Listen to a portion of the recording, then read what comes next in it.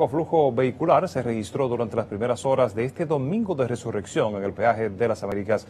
Hacemos contacto con Susan Castaño. Adelante, Susan, buenas tardes.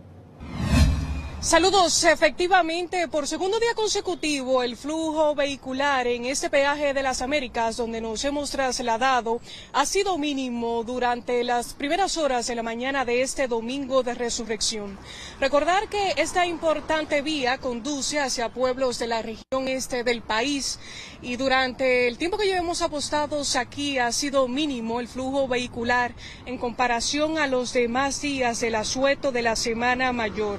A todo lo largo de esta vía, que es una de las más concurridas, se observó la presencia de agentes de la Policía Nacional, voluntarios de la Defensa Civil y otros organismos de socorro que se preparan para realizar el denominado carreteo que se tiene previsto de iniciar a las 2 de la tarde, según informó la Dirección General de Seguridad de Tránsito y Transporte Terrestre DGCED.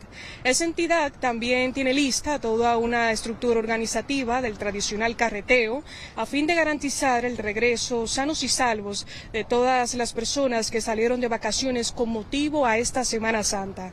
Recordar que el carreteo consiste en que las autoridades de tránsito controlen la velocidad de los conductores. Y este año se fijó esta hora precisamente las 2 de la tarde para dar tiempo a que los conductores regresen a sus casas antes de que concluya el toque de queda que inicie un horario especial a partir de las 7 de la noche, pero con tres horas de libre tránsito. Reitero, el flujo vehicular en este peaje de las Américas ha sido mínimo por segundo día consecutivo, como pudimos observar a mis espaldas. Nosotros seguiremos apostados aquí hasta que inicie el denominado carreteo que se tiene previsto a partir de las 12 de la tarde. Eso es la información que tengo. Más adelante volveremos a conectar con esto. Retorno con ustedes a los.